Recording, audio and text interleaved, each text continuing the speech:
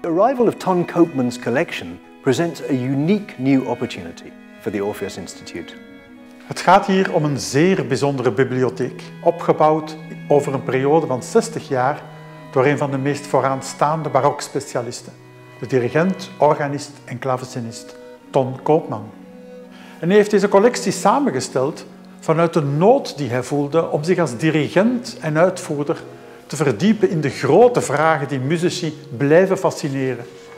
Die gaan over uitvoeringspraktijk, interpretatie, de verhouding partituur-instrument, culturele, sociale context enzovoort.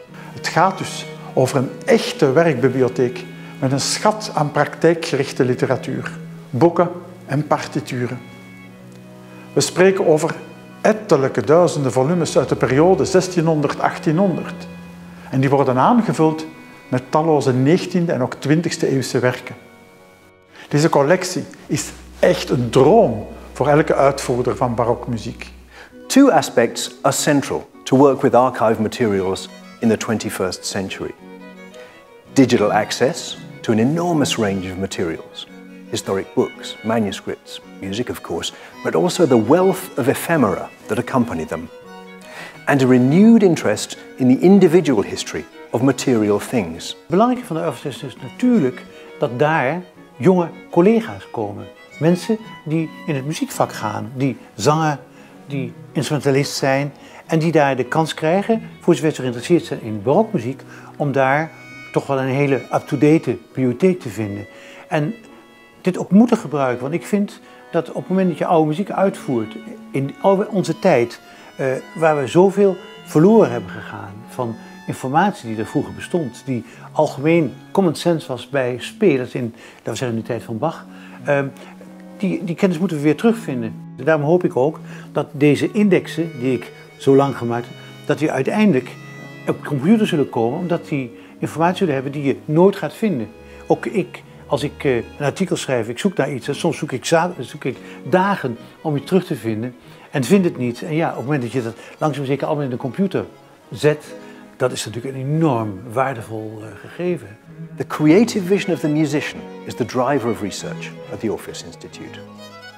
With this project, we will expand on recent developments in the digital humanities.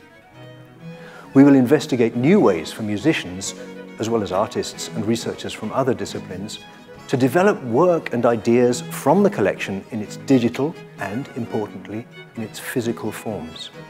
As musicians explore and interact with the material, the connections and possibilities they find will generate new layers of knowledge. This is not a static resource.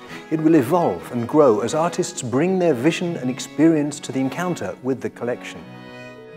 It is with this approach to such a unique historical resource that artist researchers at the Orpheus Institute will make the difference.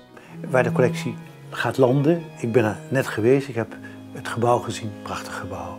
Ik ben er heel trots op dat straks mijn collectie daar staat en ook dat ik de mogelijkheid heb om nog steeds in mijn collectie de grasduinen als ik naar Gent kom.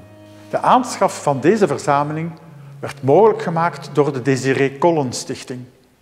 En voor de huisvesting heeft de stad Gent ons een prachtig historisch pand ter beschikking gesteld. Het koetshuis van Dane Steenhuizen. En dat zijn we op dit moment aan het renoveren. De Vlaamse overheid steunt het onderzoek en de digitalisering van deze unieke collectie.